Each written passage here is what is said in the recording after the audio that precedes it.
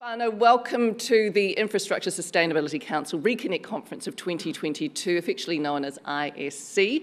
Um, first up, a few thanks to Gold, our Gold partner Waka Kotahi, who have supported the ISC with today's event, but also yesterday's Infrastructure Sustainability Accredited Professional ISAP Day. Uh, a big thank you to Auckland Unlimited, who have provided support for this event. We love being in Auckland, and those of you who have travelled from across the ditch and around the country, we hope that you enjoy all that Auckland has to offer. Once you get up to the Sky Tower, for example, you can see it all road cones as far as the eye can see. I'm kidding, of course. These works will improve our access to all that Tāmaki Auckland does have to offer. And so much of that beauty lies with Tangata Whenua and the stories of our land. Uh, this venue is a site of cultural significance, or rather that which lies below it. Um, it is above the Waihorotiu stream, also known as the Queen Street stream. It was an open stream starting out in the gully, which is now Myers Park, before flowing through a swampy area, now Aotea Square, and then down the centre of what was to become Queen Street. Records have it that the eels ran thick and the water pure, servicing both Māori and the first European colonists of Auckland. If you can imagine Tunamo, the eeling that went on, the waka that went down the waterways here, it was lush, it was beautiful, it was life giving. But as settlement increased, the stream became an open sewer and was then bricked over around the middle of the 19th century. Water still runs into the old sewers under Queen Street where it discharges under the ferry building to the sea. It's a reminder of the need for balance, the power of our natural resources, and of taking a sustainable approach uh, that preserves our taiao, our environment, even as we continue to grow. And that's what this conference is about, of course, not just building things, but building community, honouring te taiao, and connecting more fulsomely and confidently to tangata whenua and te ao Māori values. By understanding the history of this place, we can have a reciprocal and thriving partnership that supports all initiatives going forward. And as our matua reminded us, Matariki couldn't be a more perfect time to do this we're really blessed with the timing. Now, we have a packed day ahead with sessions looking at place based approaches to net zero, stepping beyond silos, where we'll look at what sustainability leadership looks like for the coming decade, technology transformation, and the last session, anchors for action, is where we'll hear a series of quick-fire presentations on high capacity cables that link to carbon neutral data centres. We'll hear about Kowhai Park and their renew renewable energy development and decarbonisation, and wrapping up with a look at renewable energy zones. This event is all about engagement. We want to hear your questions and we want to hear your input. So if you haven't already downloaded the app, please do so. Uh, an email was sent out on Sunday afternoon. Uh, of how to do this along with your login credentials. If you need assistance, please just talk to Tara, who's sitting at this table here, uh, actually, no, is Tara there or is she over at the AV stand? She's at reception at the moment, okay. Um, so she will be at the AV desk at the back of the room or reception. Uh, you'll need the app to submit any questions during our sessions. And don't uh, forget, of course, that we've got the Wholesome Allied Concrete networking dinner tonight. Uh, that is just one opportunity to get together. Networking, as we know, is so important in this industry. So we've replaced short morning and afternoon tea breaks and lunch with two one hour networking breaks to maximise your catch up times. Those are from 11 till 12 and again from 2 to 3. Coffee is available all day long, so please enjoy that. I'd like to introduce now Ainsley Simpson, the CEO, Infrastructure Sustainability Council, to formally kick off our day. Paki Paki Mai, Ainsley Simpson.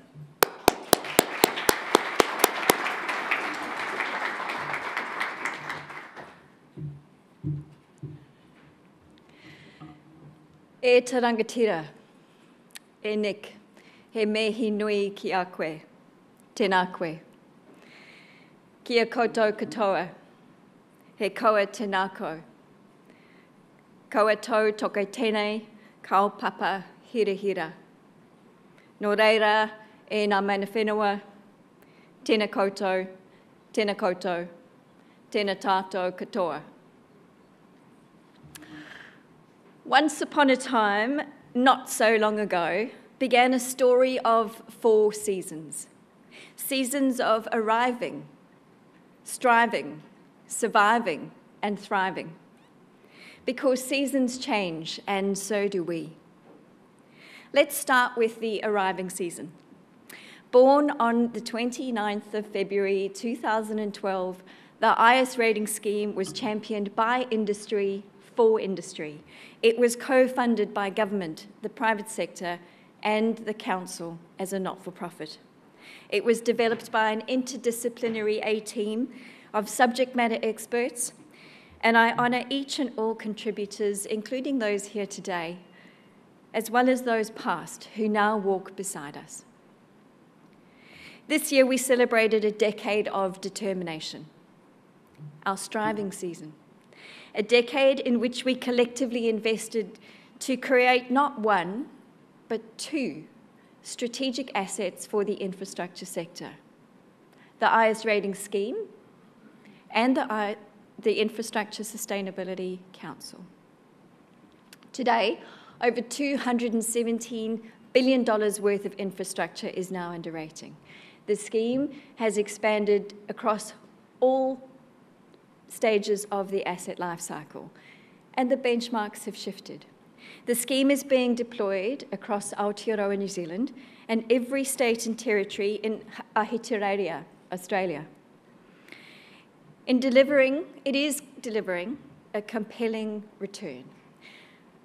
Economically, the scheme is set to deliver up to $2.40 for every dollar invested, and that is only the monetized value. It does not include the substantial non-financial benefits. Very soon, we will be able to share with you more details that we have received significant funding to progress our important mahi. Work that will help us all see more readily the colours and changing of the seasons. Through the striving season, our organisation also transformed. We transitioned to the Infrastructure Sustainability Council, or the ISC. This acknowledged our vision, it is deeply aligned with our purpose, and it also recognises a promise that I made to all of you in May 2019. The impact we enable was central to the evolution of our new identity, but it honoured the change that collective progress has made, and it amplifies our ability to accelerate change through collaboration. It meaningfully and respectfully acknowledges your continued commitment and contributions, along with all of our member whānau and partners here in Aotearoa. Our brand remains anchored in a circle, which represents what we do, how we do it, and why we do it, because better never stops. It signifies that it's never too late to start, and it doesn't matter where you start only that you get started. It encourages inclusivity, circularity, and resilience. And the four arrows represent all of the opportunities associated with infrastructure. The quadruple bottom line, the stages in the asset life cycle, the different kinds of infrastructure, and of course the benefits that infrastructure delivers. Social, cultural, environmental, and economic impact. All the while, there is the surviving story.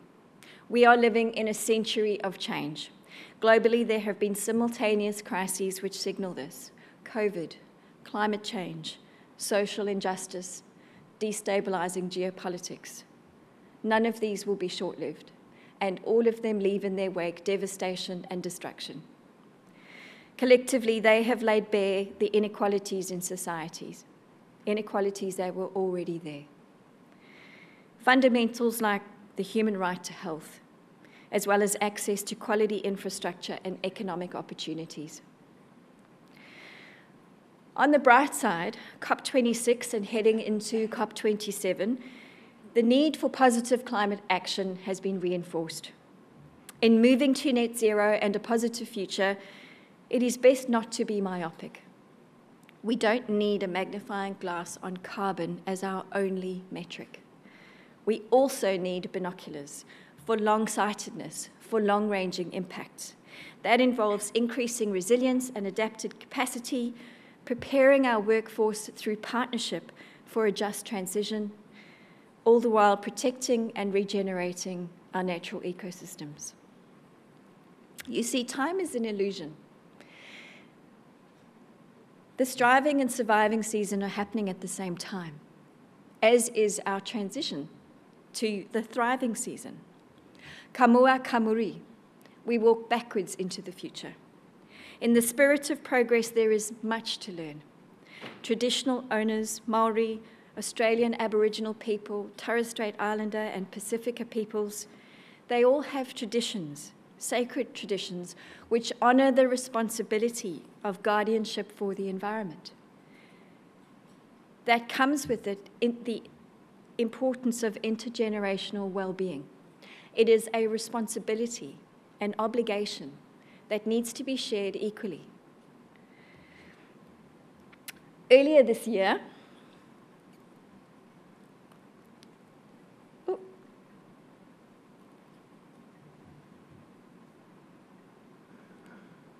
Just a moment.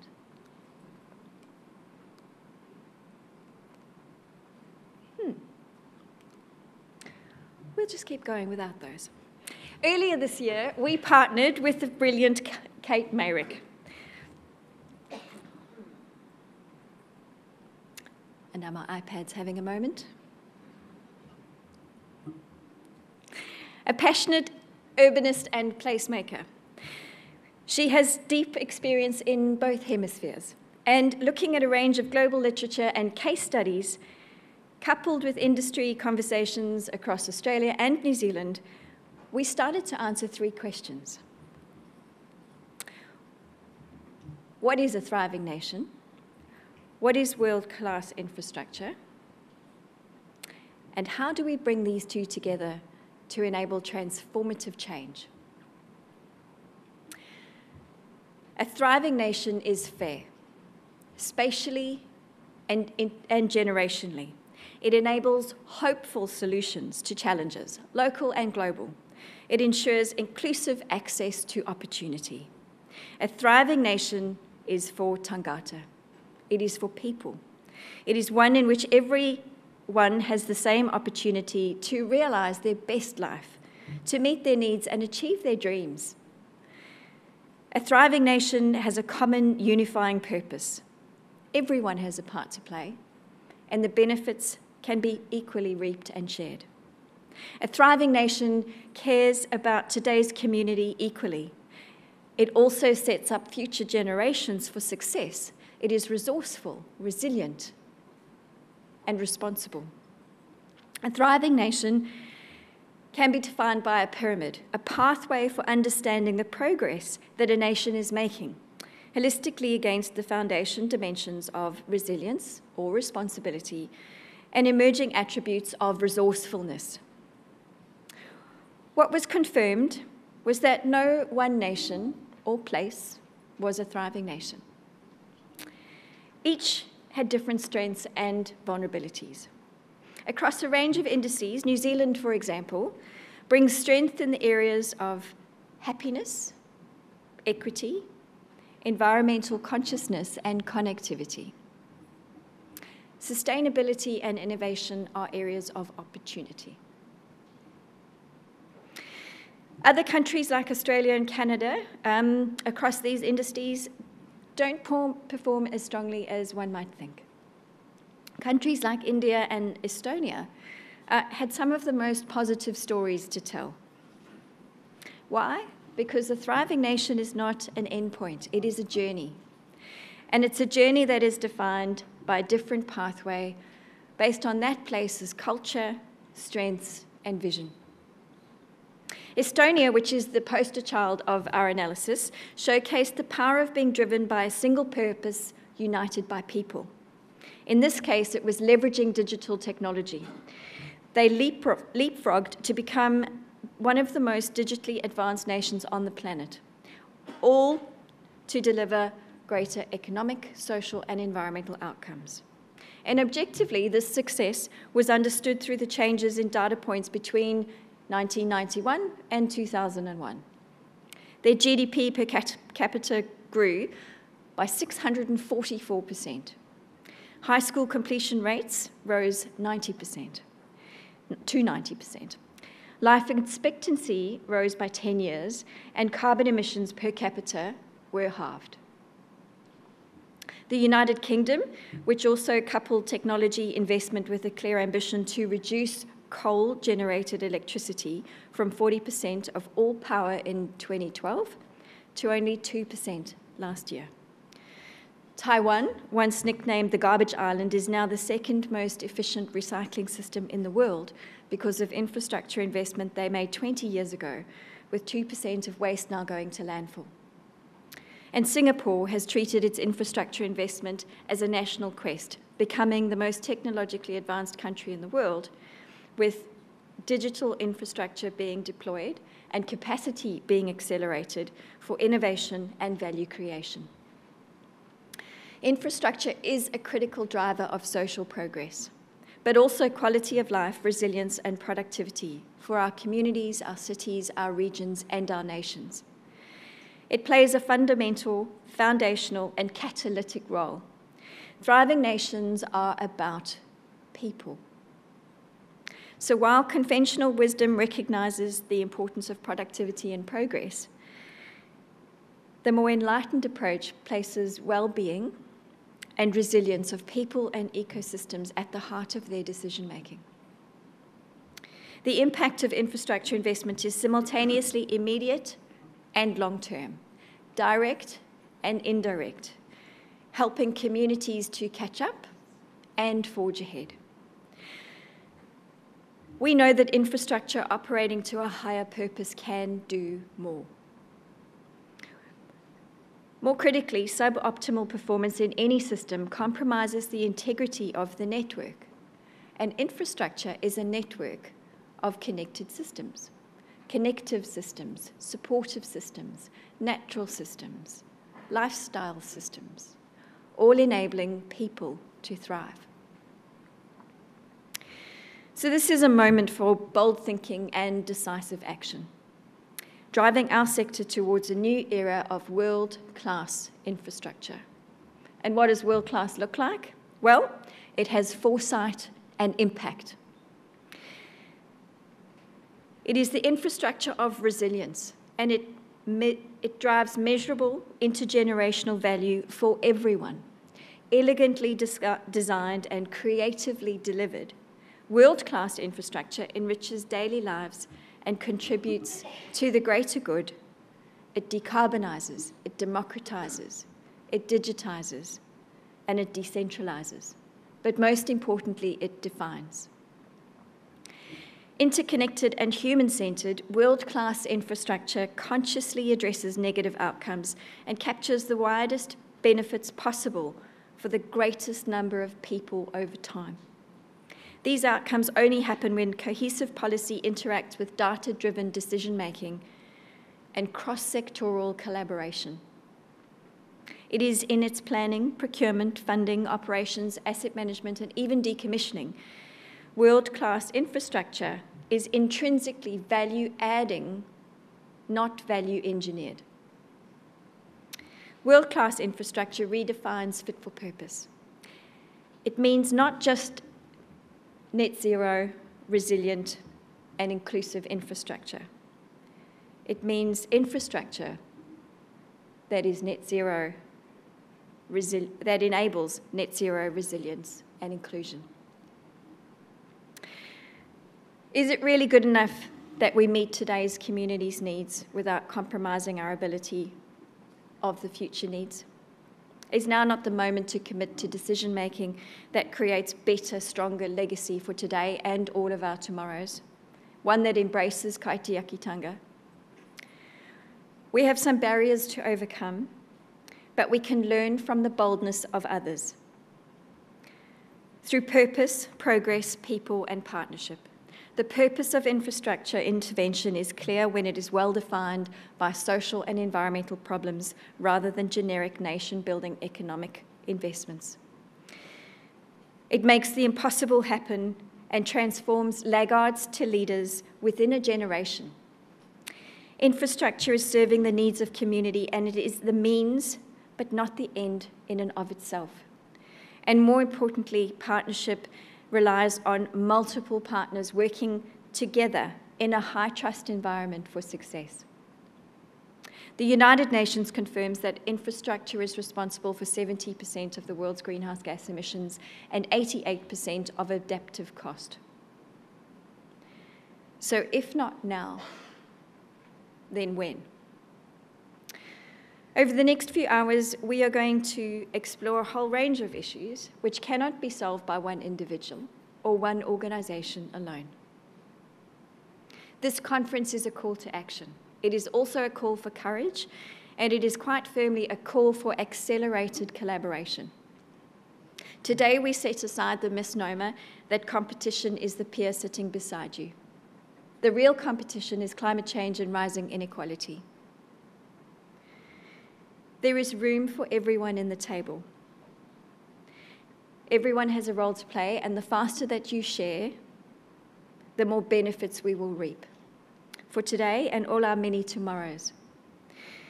You are part of our past and you are part of our pathway. Let's step up, let's level up, and let's leave no one to, behind as we move from a decade of determination into a decade of action. Let's make sure it's also a decade of dignity. Thank you.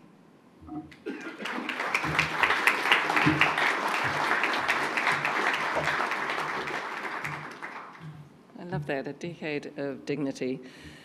Wonderful, thank you very much, Ainsley. What is a thriving nation? She asks. It's for people, for everyone to achieve their best life. It's resourceful and resilient. It's equitable and connected. It means better health, longer life for people, underlined, with well-being and resilience at the heart of decision making. And it really does underline how vital your mahi is.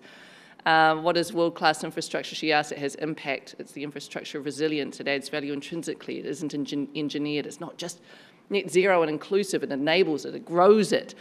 Uh, today's discussions will help enable action, courage, and collaboration, as Ainsley said. Another round of applause, please, for Ainsley Simpson.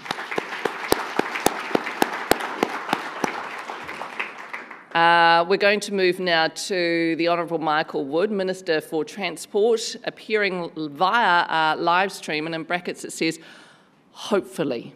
I'm always nervous about live streaming with ministers, but it looks like the minister is here. A round of applause, please, for the Honourable Michael Wood.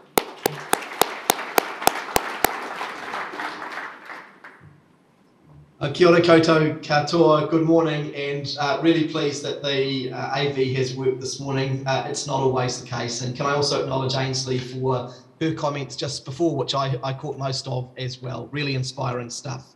Look, I'm really thrilled to be here with you for this discussion today with a focus on how we decarbonise our transport infrastructure in the coming years. And I want to thank everyone who's in this room for the part that you're playing in making that happen here in Aotearoa, New Zealand. As I get around the country, there is a real sense of energy and purpose about the task that is ahead of us uh, over the next 10, 10 to 30 years as we undertake this challenge for our country and a real focus on the wide range of benefits that we can achieve. As we've just heard from Ainsley, um, we've got a mission in front of us to decarbonise our transport system. But if we do that well, we can improve life for people in New Zealand. We can have cleaner air. We can have more equitable outcomes. We can have reduced congestion in our major cities. We can open up opportunities uh, to education uh, and, uh, and, and work for people. Um, there is so much that we can achieve with a sustainable approach to delivering the kind of infrastructure that our country needs. I think you will all be aware of the scale of challenge that we face across the transport system. After agriculture, it is the second biggest emitter uh, of greenhouse gas emissions in uh, our country, around about 17% of gross emissions. What's even more difficult is that over the past 30 years, transport has been the sector that has had the worst trajectory. Our, our transport emissions have increased by between 90 and 100% over the past 30 years, largely led by an increase in our light vehicle fleet. And that is far and away the biggest increase of any sector over that period. And so, in short, if we want to reach the targets that we need to meet, net zero by 2050, roughly halving that by 2035, we have to turn around uh, the transport emissions profile very, very quickly. And that's going to take significant work to achieve. The government's approach has been a sequential one. You might remember that in the previous term, we declared a climate emergency, which was a clear statement of intent from our Parliament about the scale of challenge that, that is in front of us. We then followed that up with legislation, the Zero Carbon Act, which established the Independent Climate Commission, um, a model that provides us with independent scientific advice around what we need to do to re reduce our emissions across sectors. We've then followed that up with an emissions reduction plan, which is our government's response to the recommendations of the Commission, breaking it down in five yearly carbon budgets and by sector to determine what we need to do with a comprehensive suite of actions to deliver those outcomes. And then at the budget this year, we've also announced the Climate Emergency Response Fund. That's the money that we're bringing in behind the emissions reduction plan to give life to the actions. So over the course of three years, we've moved from a statement of intent to a funded plan for how we reduce our emissions sector by sector. And of course, there's been a huge range of uh, discussion across communities and sectors, including with many of you, as to how we get there. Within transport, we've settled on a target of a 41% reduction by 2035. And we have four specific and very ambitious targets that we're going to need to meet if we want to get there. Uh, the first is to increase zero emission vehicles to 30% of the light fleet. So you see the work that we're doing through the Clean Car Discount, the Clean Car Standard, and other measures to drive that along. Secondly, reducing emissions from freight transport by 35%. And what's particularly interesting and encouraging about that target is that when we initially consulted with the freight sector, we had a lower target in place and we received advocacy from the freight sector that they believe that we can go better and harder on that one. Thirdly, to reduce total vehicle kilometres travelled by 20% by 2035. And that involves a significant shift in terms of how people move around our communities, towns, cities, and regions. And fourthly, reducing the emissions intensity of transport fuel by 10% by 2035. So each of those targets assumes something about the world of the future that's supported by the infrastructure that we build now. So to reach those targets by 2035, the actions have to start now. And if the actions don't start now, the task becomes harder year on year. Uh, the infrastructure that we're going to need to create to deliver on those targets is vast and wide ranging.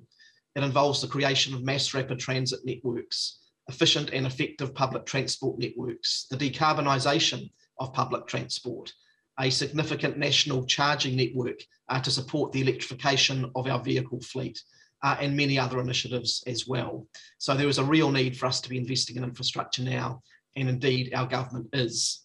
Um, this is going to be a challenging journey. And one of the things that I say uh, to every audience when I talk about this is that it involves us doing things differently. The nature of transport is that every single day, virtually every person interacts with the transport system. You step outside your house, and whether your kids are going to school, you're going to work, you're doing the shopping, you're interacting with transport. And so, on this journey, as we ask people to think about doing transport in a different way, we are asking people to change how they go about their lives. And that speaks to some of the challenges and tough conversations that we will have to have. But ultimately, it's the old axiom if we keep doing the same old things, if we keep building the same old infrastructure, we'll get the same results that we've gotten up until now. And that is not the path that we can choose for the future and for future generations. And as we've heard from Ainsley, and as I've touched on, there are so many other good outcomes that we can achieve if we do things differently as well. Um, briefly, I just want to mention the carbon neutral government program because one of the things that we have been very clear about is that um, the government itself needs to lead from the front. Um, we need to demonstrate um, that we are not just telling other people what to do, and we also need to be able to model and test out different ways of achieving decarbonisation within our own sector of the economy and society as well. So across a range of government agencies, including those I'm responsible for, um, we've instructed our agencies to measure, verify and report on their emissions annually to set clear gross emissions reduction targets and pathways to reach our, our goals by 2035 and 2050, and to start work now on implementing low carbon designs, building materials, and construction processes. And that's particularly important across our infrastructure delivery agencies, the likes of KiwiRail, um, uh, Waka Kotahi, Kāinga Ora, who are significantly engaged in the delivery of infrastructure and who I understand are in the audience here as well. So that's our, our, um, our pathway forward as a public sector. and we want it to be one that's instructive and helpful to people in the private sector as we partner up on this. Um, we have a significant infrastructure delivery program in pursuit of a range of goals, including decarbonisation, and it cuts across the entire transport portfolio. We have now decisively shifted away from the focus of transport 10 years ago, which was simply about building ever more roads across the country, to shifting towards a truly multimodal system that is based around decarbonisation and the benefits that it might deliver. So a range of different modes you now see significant investment going into.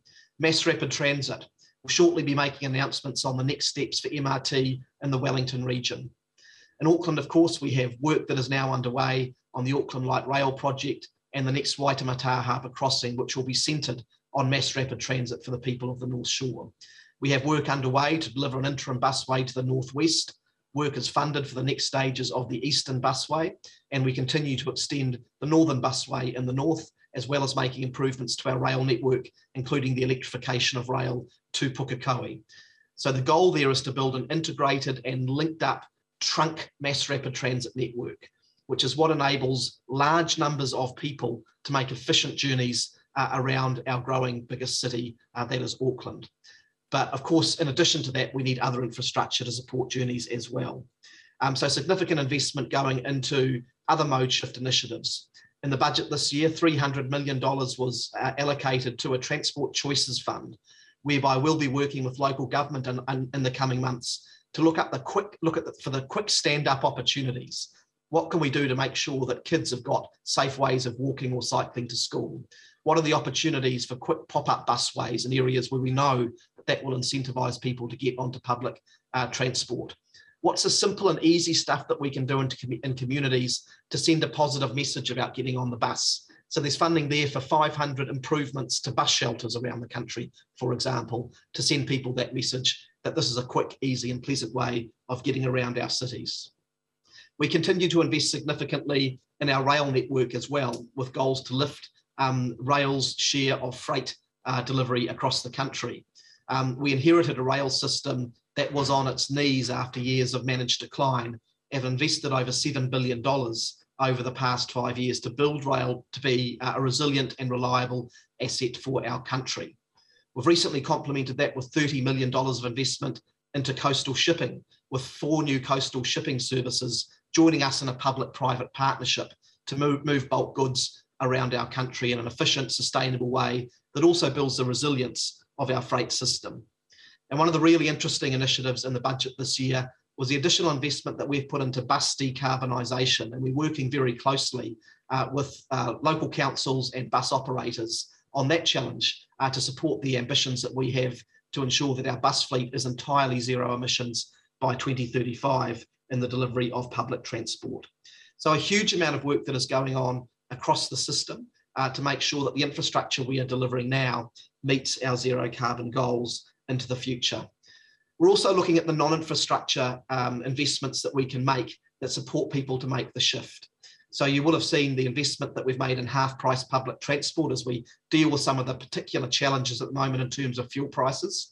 But beyond that, uh, $98 million of investment in the budget this year to set up the Community Connect card, which will provide permanent half price public transport for people on the community services cards uh, with the lowest incomes in our country. That'll benefit over a million people across New Zealand. Uh, we have also announced in the emissions reduction plan our intention to move forward with serious investigation into the possibilities of congestion pricing in our largest cities as well, which can be an important measure to leverage the best benefits out of the public transport investments uh, that we are making. One thing that I have become particularly conscious of in this role as we deal with a suite of large scale infrastructure projects, though, um, is the degree of embedded carbon that we deal with whenever we move forward with large scale projects that involve a lot of steel and a lot of concrete. And, and, a, and a particular challenge that we face with this is the short term, long term challenge.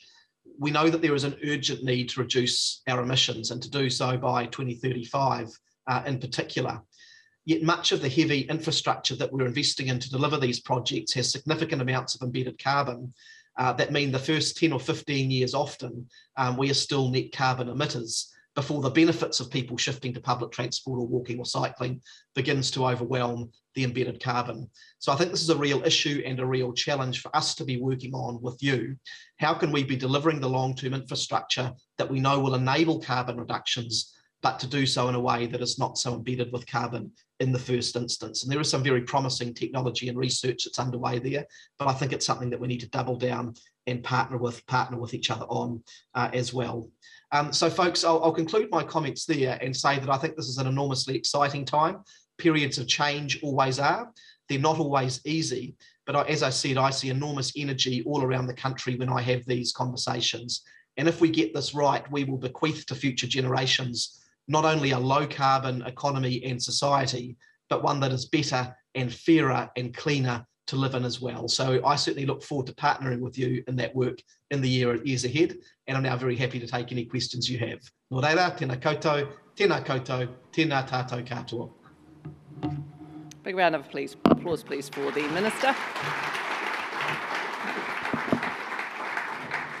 So, as the Minister said, uh, there is time for Q&A. Um, please pop those into the app and I will moderate those for you. We don't have a lot of time, so pop those in right now if you can. But let's start with this one. Uh, government procurement, Minister, is a lever which can scale impact of delivery of sustainable outcomes. Are you considering contractualising broader outcomes using tools such as the IS rating scheme? Thanks. A really great question. Um, government's procurement levers are vast. We procure, uh, depending on how you measure it, 40 to 50 billion dollars worth of goods and services uh, every year and it's a really important tool to drive a whole range uh, of really good outcomes. Um, so yes, we are looking for projects, particularly those over $15 million to be embedding the IS tool to be making sure that we are getting those outcomes. But I'll just say more broadly, I work closely with Minister Stuart Nash, who's our lead minister for procurement in his economic development portfolio. And he's leading a wide ranging work program in this area. Um, an approach that I'm particularly attracted to is one that's been advocated for by the Business Health and Safety Leaders Forum called the Thriving Infrastructure Approach. We're going to be specifically embedding this into the Auckland Light Rail project. It's based on the Zero Harm London Olympics, um, where for the first time in modern history, they built the infrastructure for the London Olympics without a single fatality. And they did that by embedding this approach and this care for their workforce from the very, very beginning. They embedded it in the responsibilities that directors and senior managers had. They embedded it in the reporting. They embedded it in the, procurement, um, in the um, contract um, arrangements that they had. They embedded it in the quantity surveying so that some of these outcomes that often end up being add-ons were there from the very beginning, whether it was health and safety and well-being, whether it was better environmental outcomes. And I think that's increasingly what we've got to move, uh, move our way towards structuring this into the way that we do procurement and do business. Thanks, Minister. Uh, how is investor sentiment around long-term dividends and ESG issues such as carbon charging? Do you see this impacting government funding decisions uh, as early as business case? Um, yes, I do, and this is something that we are exploring. There is clearly um, significant uh, international and domestic interest um, in how we can finance and support projects that have a strong sustainability profile. Um, that's something the Minister of Finance is looking at closely, and it is something that will absolutely influence us at the business case stage as well. One of the pieces that I have under work uh, uh have underway at the moment is working with Waka Kotahi in terms of how we give life to the emissions reduction plan, which is now government policy, to make sure that it's clearly guiding projects and programs at the business level, uh, business case stage. Great, thank you. We've got time for one more question. In light of the recent proposal in the EU to only allow the registration of light vehicles with zero emissions by 2035, what is the stance of the government on such a measure? Mm. Look, I've just come back from Oslo, where I was at EVS 35, which is the world's biggest uh, zero emissions vehicles uh, fair to um, connect with um, like minded countries, manufacturers, and to try and source supply for New Zealand. Um, the good news is that we are storming ahead in this area at the moment.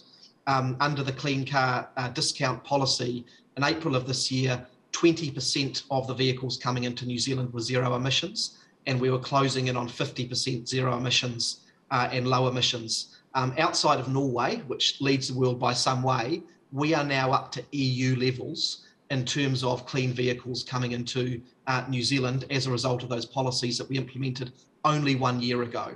So our policies are leading us in that direction. And what we have indicated is that we will give further consideration as to whether there is value in having some hard targets as we head into the 2030s. Thank you very much, Minister. We do have to leave it there, but appreciate your time this morning. Round of applause, please, for the Honourable Michael Wood.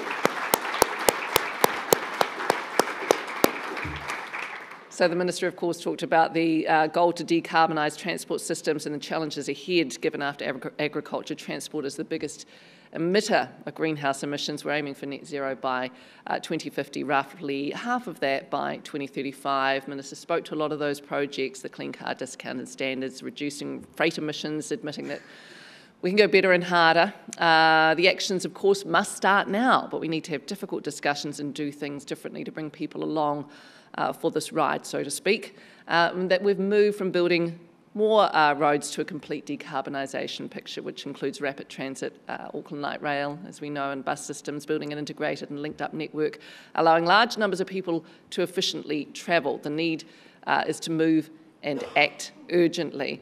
So another round of applause, please, for the Minister, Michael Wood, this morning. I'm going to move into our first session. I'd like to thank AECOM for their support with this. Uh, Craig Davidson, the Managing Director of AECOM, will provide an overview of this session, Thriving Nations Enabled by World-Class Infrastructure, our decade of action. Please welcome Craig.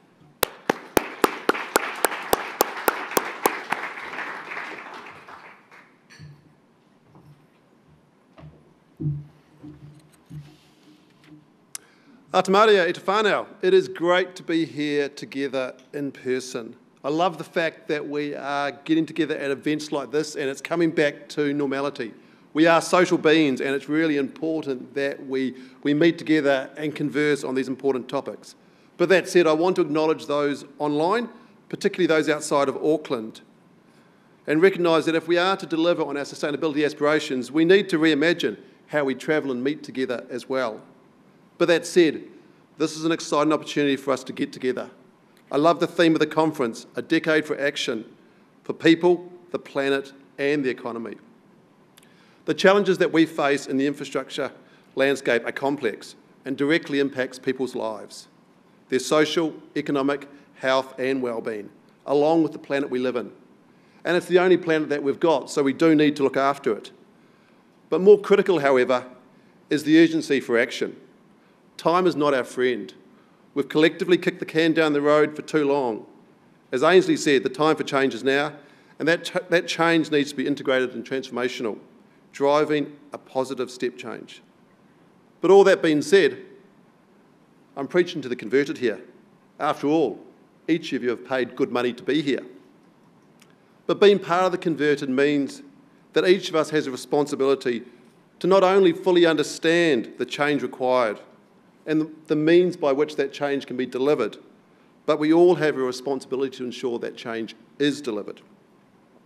The infrastructure that we design and build, along the way with the ways that we can reimagine the use of existing infrastructure, has enormous potential to positively contribute to the sustainability challenge. At AECOM, our Sustainable Legacy Strategy aims to give responsibility and opportunity to every employee to make a change a positive change in how we design and deliver infrastructure, maximising our handprint and minimising the footprint of the infrastructure we deliver. We're proud to be involved in this project, such as the City Rail Link that we have going on next door, where our teams through great design have been able to significantly reduce resource consumption and embodied carbon, embracing technology to track material quantities throughout the project lifecycle, and working to maximise the efficiency of the mechanical and electrical systems to reduce the whole of life energy requirements. However, when we talk about infrastructure, we sometimes fall into the trap of leaving the sustainability conversation to too late in the project life cycle, limiting the transformational potential of the infrastructure, potentially leaving designers to put glitter on the proverbial. It's important that sustainability is considered and prioritised right from the outset. When we define the problem statement, through the business case life cycle, and ultimately through a whole of life design process. A great example of early consideration of the sustainability challenge in action is Auckland Transport and Waka Kotahi's Supporting Growth Alliance, a planned alliance focused on identifying and protecting the transport corridors required to deliver on Auckland's future growth needs. A key element of the alliance is to deliberately facilitate a transformational mode shift out of cars to ensure delivery on the goals of significantly reducing carbon emissions and vehicle kilometres travels, delivering on the goals that Michael Wood talked about in his presentation.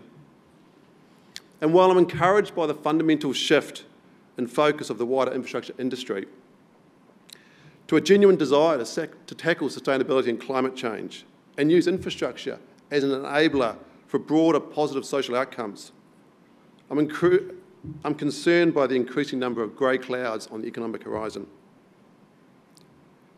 These grey clouds could derail the progress that we are making. So, despite these economic challenges, we need to ensure we keep the momentum for change going, as the long term cost for not acting far outweighs any perceived benefits derived from short term cost cutting. But enough from me, and I'm mindful of time. And as you will all know, that Waka Kotahi, local government New Zealand, and the Ministry for the Environment have all been strong drivers for change in the infrastructure sustainability space. So, like you, I'm looking forward to hearing what Nicole, Vicky, and Susan have to share on the next steps their organisations are taking on the sustainability journey. Thank you.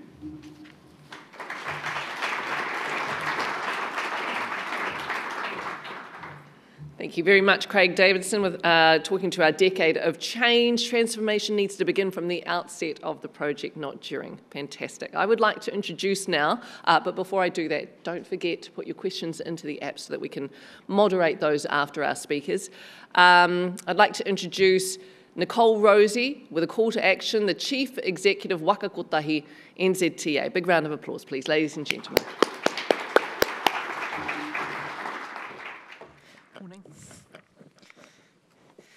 Aku mihi nui kia koutou kei aku rangatira tēnā koutou katoa. I acknowledge the Honourable uh, Michael Wood, Minister of Transport, Ainsley Simpson, CEO of Infrastructure Sustainability Council, and my fellow speakers and chief executives, Vicky, uh, here today this morning. Tēnā koutou katoa. The Irish have a way with words, and Irish businessman Niall Fitzgerald um, I've got the right slide up, has definitely proved it.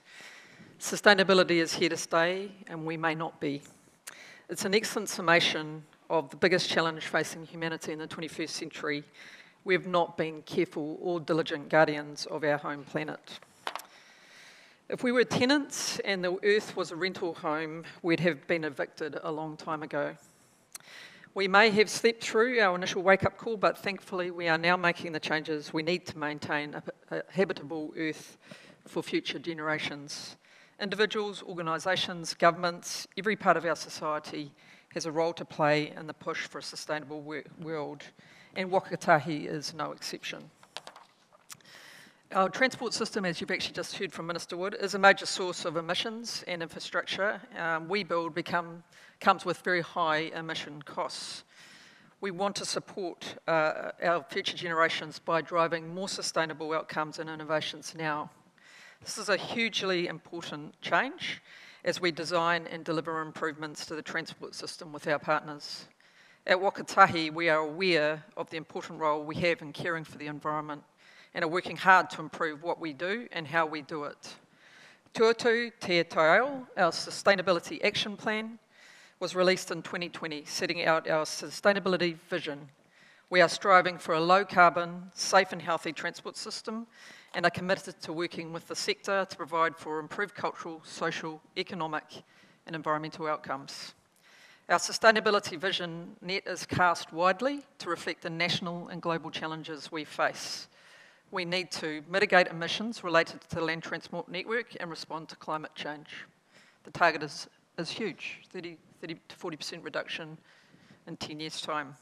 Help provide better public health outcomes as mode shift delivers a drop in pollution levels.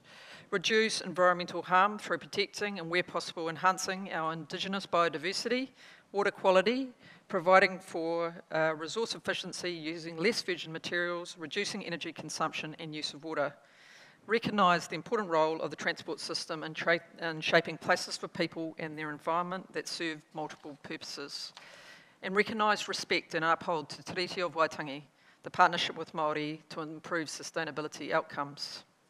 The public conversation often centres on emissions reduction, awareness and action in that area is vital. We are working towards reducing greenhouse gas emissions as part of our role in delivering the Emissions Reduction Plan, otherwise called the ERP, and as part of the requirements under the Carbon Neutral Government Programme. This includes reducing vehicle kilometres travelled, VKT, by light vehicles, and reducing emissions from freight transport. As the land transport system leader, planner and investor, we are carefully scrutinising our investment profile to ensure what we fund best delivers and supports these goals. Increasing investment in areas that provide people with better travel options or that make it easier to move around our network are key for sustainability success. Digital offerings like the National Ticketing System NTS and camera network give us new choices and encourage mode shift and transport choice. Investment in mass transit, which the Minister just spoke about, Let's Get Wellington Moving, Auckland Light Rail, and we are planning for better mass transit in our regions. This increases options and provides ease of travel. We're making major investments in better walking and cycling options with a view to creating a connected network that provides people choice and gets people where they want to go. We're also changing the way we use our network and transport corridors. Living streets, speed changes and traffic calming are making room for people as well as vehicles. All these have positive spin-offs for the environment in terms of sustainability goals. I've just mentioned reduced emissions, better public health, and the creation of a more cohesive community with better amenity. We're not just changing what we invest in, but the way we prioritise it. Our intervention hierarchy looks to implement behavioural change first, seeking to maximise the use of our networks using a number of methods, including reallocation of road space, and investment in mode choice. These solutions are not one size fits all. Our rural communities have very different needs from our urban communities. Much of our climate investment is targeted at urban areas because that's where most people are, and by default, where we can make the greatest reduction in our emissions. In our urban areas, we're reallocating road space, delivering mode shift, and looking for VKT reduction. That's vehicle kilometres travelled. The issues in rural New Zealand are different. Single route reliance and network resilience um, to climate change is a real concern. I've just been on the east coast in Gisborne and the major washout there, and there is only one state highway, um, State Highway 35 in Gisborne. So resilience and climate change adaptation is a significant issue for New Zealand. We also have to be mindful of the role of transport in getting vital goods and supplies to markets and locally to geographically dispersed and often economically disadvantaged communities. We have a responsibility to all New Zealanders to maintain equity of access to the land transport network and the distribution of wealth that flows from that. The role of partners and iwi is crucial ensuring this change focus works for everybody and that the dual outcomes of sustainability and economic success are achieved.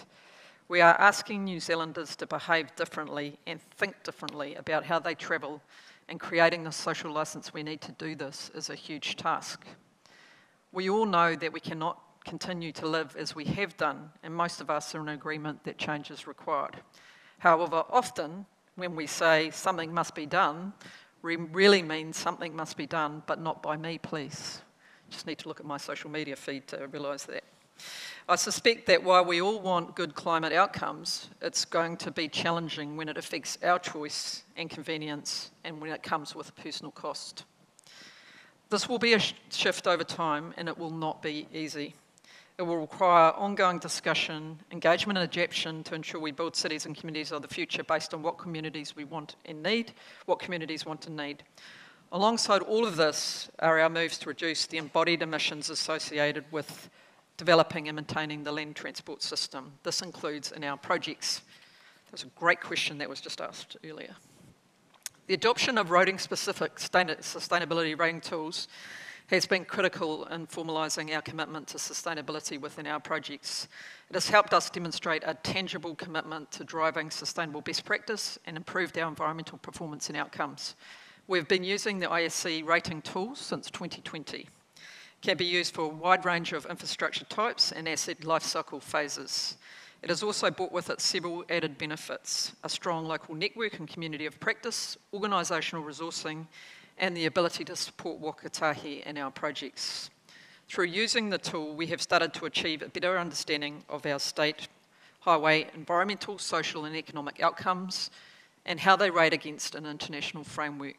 It has also helped us achieve broader outcomes, including raising awareness of the benefits of developing a more sustainable land transport system among our industry partners and along the supply chain. There has been spin-offs for business case management. The ISC planning assessment tool enables projects to consider sustainability criteria in business case decisions and prepare the foundations for integrating sustainability requirements in the design and construction phases. It's interesting, the Minister talked about the London Olympics, exactly the same concept. It's uh, sustainability by design. This helps us potentially recognise greater benefits, provide for improving carbon outcomes and also better environmental sustainability outcomes at the lowest cost at the beginning of a project. Sustainability is a must-have on all our major projects. All new projects over 100 million are required to achieve an infrastructure sustainability certification. Our smaller projects uh, also need to demonstrate sustainability. They have to align with Waka Kotahi environmental policies, strategies and standards, including those outlined in Toitū Te Taiao and our resource efficiency and waste minimisation policy.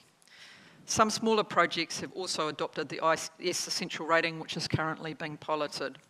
We have 13 projects registered or about to be registered for ISC sustainability rating. This is a significant achievement in itself, given that we only adopted ISC less than two years ago.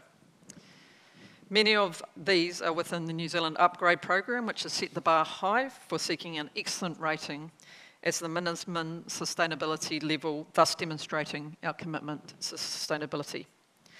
We are building our relationship with industry and with ISC partnering to allow for better delivery outcomes all around. This includes health and wellbeing improvements through increased walking and cycling, better economic and social performance by increasing foot traffic and providing greater street space for businesses. Accessibility and equity have also been increased through more effective multimodal travel options. We have a strong focus on the development of genuine partnerships with mana whenua, using these opportunities to shift the narrative and leverage these changes to create better cultural outcomes and growth. The Old Mangere Bridge replacement project here in Auckland is about to open, offers an interesting example of the sort of work we're doing in health, wellbeing and cultural space. Conceived more than 10 years ago and almost ready to open, the new bridge is an expression of how sustainable principles were acknowledged and delivered through planning, design and construction stages. The new walking and cycling project is a great example of sustainability early thinking in action. The design of the bridge arch symbolically links the Maunga on either side of the Manukau Harbour. The addition of the fishing bays recognises the community desire for the bridge to continue to be a place to fish from, not just a means of getting across the harbour. There's a heritage garden established using recycled pieces of demolished 100 year old bridge and locally sourced heritage trees. Artworks designed by mana whenua reflect the rich cultural values of many iwi associated with the area while the stories by local schoolchildren etched into the bridge, deck and furniture represent the future. Going forward, our commitment to sustainability is bolstered by a number of initiatives. There's no one thing that will make it successful, rather, it's a number of things working together to help us get the best possible outcomes. We're working closely with our partners to reduce transport emissions through the Urban Growth Agenda and the national and regional mode shift plans. We're contributing to an EV infrastructure plan and helping with the implementation of the climate change priority in the 2021 government policy statement on land transport. We are also making significant investment in walking, cycling and public transport infrastructure to support mode shift. In 2021, we doubled the kilometres of walking and cycling improvements that were delivered compared to previous years, and over 500 kilometres have been added to the network over the last five years. It's to propose to increase this in the coming years. As part of the government's broader outcomes and procurement initiatives, we are also considering not only whole of life cost of procurement activities, but also the cost and benefits to society, the environment, and the economy. We recognise the importance of Te Ao Māori and our sustainability journey and the connection to the environment. We are starting work on a measure to help us understand how effective our partnerships and engagement with Māori are. We look to mana whenua to help us on this journey and appreciate and respect their insight and knowledge. In conclusion, this is the story so far. There are many chapters to come. We're up for the challenge, and as you can tell, we are now building our capability and understanding, including the value of the ISC rating framework, which we are stretching ourselves with further.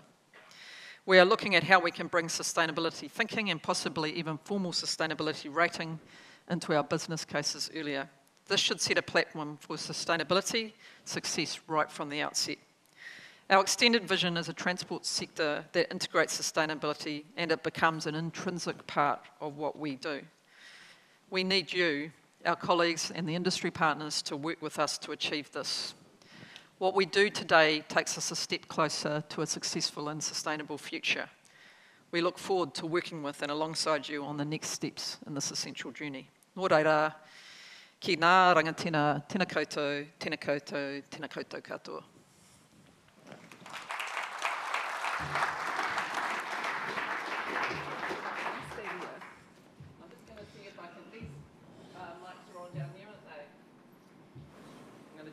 Here just so that you can use those microphones um, over there. We've got some questions for you.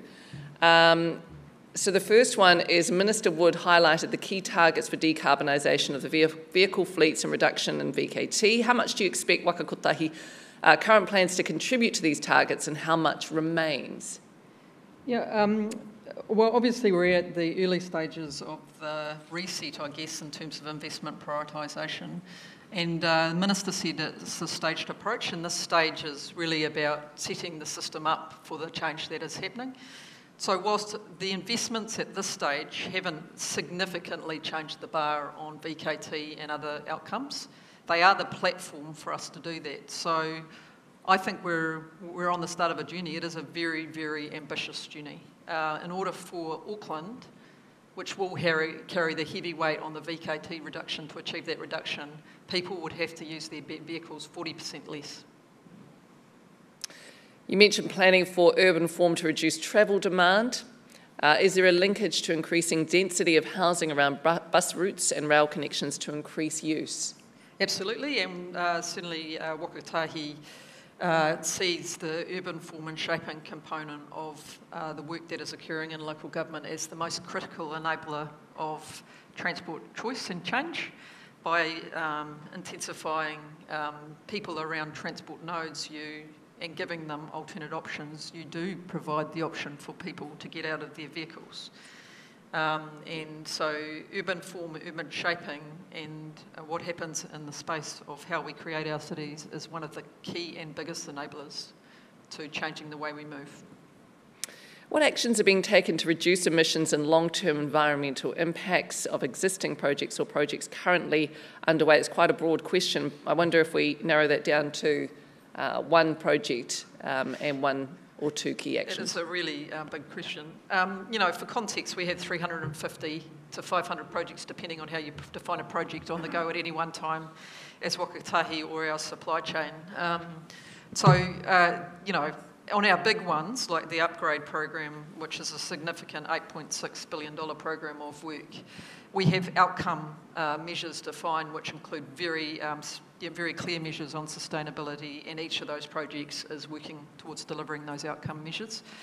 A, at a day-to-day level, uh, strategically, Waka Kotahi has made it clear through Te Kāpehu, which is our strategic reset, that sustainability is a core outcome that the organisation will drive in everything we do. And uh, what that means is every piece of our business is inherently focused on looking at sustainability outcomes as something they measure and what they do.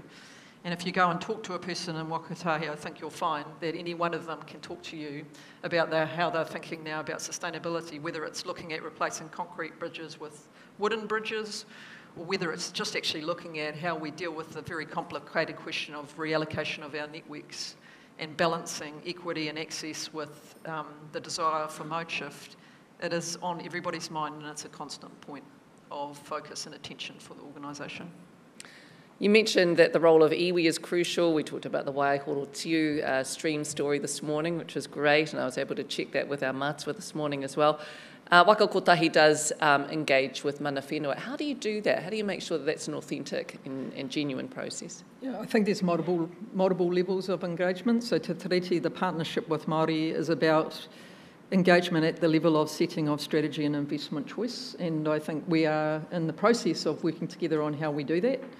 Where we've been excellent is at a project level. So, uh, I mean, iwi would be better to say whether that we're excellent or not, but we have won a number of awards uh, for partnering through our alliance structure with our uh, supply chain, with mana whenua, iwi in our um, projects, and in many cases they are brought to the table to literally design um, and, and, be part of the decision about how that progr- um, progresses. And we also advance uh, local economic activity through those projects as well. So um, it is really about sitting at the table as, a, as an equal partner and contributing at the strategic level. And I think that we will mature as a nation um, in this area over the next, um, next few decades, but certainly we have seen it as a critical part of our delivery success in New, in New Zealand. And then more broadly, uh, you know, we need social license, we need communities to get on board. of course, we know that, um, as you said, people do believe that there needs to be change. They don't necessarily be, want to be the ones doing it. How do you bring people along on that ride? Uh, I have to say that's one of the biggest challenges for us. Um, the 88 people that are referred to as our com staff, uh, 50 of those are community advisor and liaison people supporting communication and social engagement with communities around why we're doing walking and cycling, why some of these changes are important for their communities, and also connecting with those voices that are not heard very loud. So if I say there's not a loud voice from children in this discussion about transport, there's actually not a loud voice from women, parents of children, in this voice on transport. Uh, the voice of mana is sometimes heard, not, not that loud. And so um, social license comes in many forms, and part of it is engaging with those communities that are actually most impacted or most benefit from the changes that we are, are making. And at the moment, the, the, the, loudest voice is the voice that often gets the most attention um, and time in New Zealand, and that's not the voice of all New Zealanders. So I would say it's a very, very challenging um, situation. We're very polarised as a country. Um, the, the people on the edges are the voices that are the loudest. The media quite likes those voices, and so they're amplified. And uh, we are really playing in, in trying to bring whole communities along. So it is absolutely critical for us to build social licence. We, we only deliver what our communities want, but actually bringing out that full community voice is also very challenging. Absolutely. So I think it, it, it's going to continue to be a big challenge for us, particularly as the people that have controlled our system are losing what has been the centre of their, um, you know, people that like to drive fast. Um, it's a key part of our cultural ethos in New Zealand. It's absolutely at the heart of what we think is related to productivity. It's actually completely wrong. Um, it's a false uh, economy that we've all been convinced about. But, but, but actually, it will take us, we've, we've all learnt that from our parents for 20 or 30 years. It's not going to change overnight. So it's going to take a lot of education, a lot of engagement, a lot of reinforcement, evidence based for us to start to actually realise that some of the information that is out there um, about why we might be doing climate, why we might be doing safety, is really good and rep- represents what actually New Zealanders want when you talk to all New Zealanders. So I think it's challenging, but it's probably the biggest challenge in all of this. We're trying to change while New Zealand, and I would say a majority of New Zealanders, are still not quite there yet. Yeah, bit of a path ahead. Uh, we'll leave it there for now, but thank you very much. Nicole Rosie, Chief Executive, Waka Kotahi.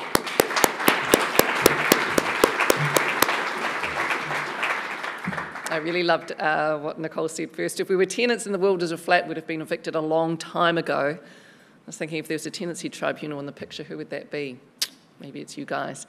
Uh, and of course, as Nicole had up on the screen, sustainability is here to stay, or we may not be. We're not fighting for the planet, we're actually fighting for ourselves and our ability to remain on this planet. Um, so, a brilliant talk. Thank you very much, Nicole Rosie. We're going to move now to Vicky Robertson, Secretary for the Environment uh, Ministry for the Environment, uh, to talk about what the next decade looks like, what should it look like, what should it look like rather. Um, this is our decade of action towards a low carbon, climate resilient economy. Please welcome Vicky Robertson. Ina mana, ina reo, ina iwi, tēnā koutou katoa. Rō rangatira mā, i te iwi, i te whānau. Ki aki nui, ki aki rahi, i mā. Nā mihi nui a katoa. Tēnā hui hui, tātou katoa. Well, it's great to be here today, and thank you, Ainsley, uh, for inviting me. Um, I feel like we're breaking out in wild agreement, um, which is uh, concerning, of course, but um, great to see nevertheless. Um, thank you also for resuming the conference. Uh, it's great to see people in person, as you said, Craig, uh, but also to get together and talk about uh, what does the next decade look like. During the lockdowns of 2020 and 21, uh, we really valued uh, Aotearoa New Zealand's infrastructure services in a way that probably wasn't uh, uh, visible to people before, just like our essential workers. The supply of energy uh, and water to our homes, the delivery of goods and emergency travel, our supply chains, our digital connection with the rest of the world all became visible as incredibly important to all of us. And we all depended on infrastructure uh, that your provision provides.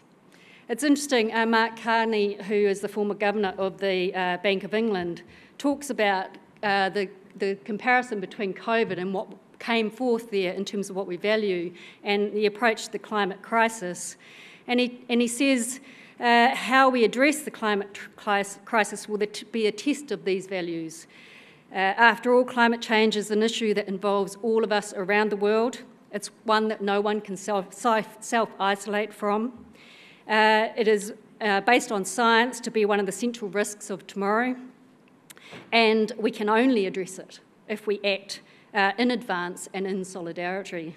He goes on to say that climate change is the ultimate betrayal of intergenerational equity.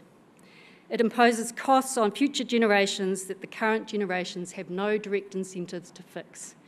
Uh, the beauty of uh, the conversation today with you uh, and aligns with us is that you are focused on the future. You have to be because you need investment certainty over the lifetime of what you're involved in.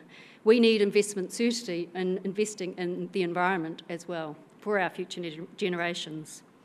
So I'm really pleased to see the themes of the conference. I wish you well in those conversations uh, and talking through how do we move forward. I'm going to get into the boring detail of some other things that are happening. You've heard a little bit today on the emissions reduction uh, plan. Uh, I'm going to talk a little bit more about what's happening uh, at the central government level, uh, just to give you a sense of uh, how much the pace of change is moving. Um, uh, my, my, Minister Michael Woods talked about the foundational works that, that's been put in place, so the Climate uh, Response Act, uh, the Climate Commission, uh, the need to uh, have an emissions reduction plan under legislation, uh, the need to set emissions budgets under legislation. So all these things will hopefully create certainty over cycles of elections. really foundational stuff. Um, there is also a number of other areas that we're moving into building the base foundations. Adaptation's one of those, and I'll talk a little bit more about that. How do we adapt to the impacts of climate change we're already seeing? Uh, uh, and, and the road are there. What do we do? Do we rebuild the road? What else is needed there? Uh, and we also know the intensification of the climate impacts across New Zealand will be felt in different ways across New Zealand and will be uh, the distribution of that to uh, our people will be felt differently. And particularly uh, for, uh, for Māori, it will have uh, a, a, a, distributional impact that is quite severe. The reduction of emissions alongside adaptation remains really important. We have to bend the curve in the pace of rising emissions. So I'll talk a little bit more about that and add on to what you've heard today around the emissions reduction plan. And then finally, if you haven't heard, there is a big reform going on in the resource management system. So I'll talk a little bit about that. So first to the uh, draft adaptation plan. Uh, under legislation, this is required, the government is required to do two things. One is to uh, bring out a, a, a risk assessment, national risk assessment, and, and then to develop up a national plan to address those, uh, those risks. In 2020, that risk assessment was uh, published, and we're now in the process of doing the uh, adaptation plan.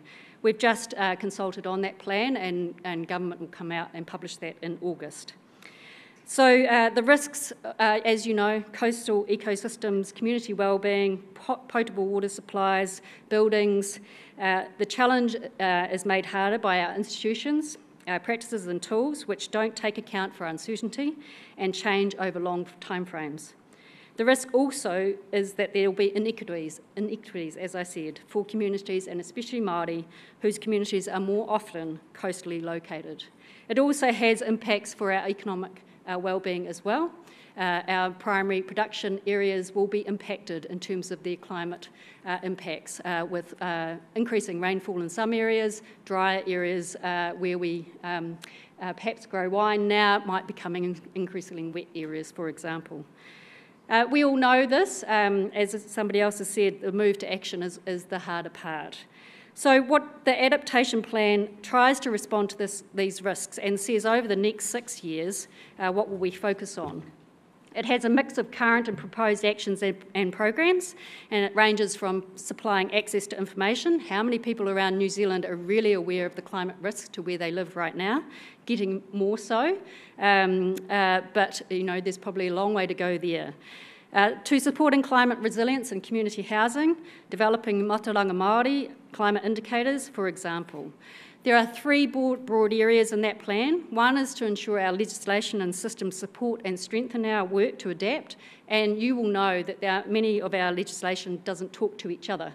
Uh, so there is quite a big program of legislative change that would need to be undertaken, including the resource management reform, uh, uh, around emergency management, water services, and managed retreat that needs to actually talk across each other. And the role of local government in that is really critical, critical too.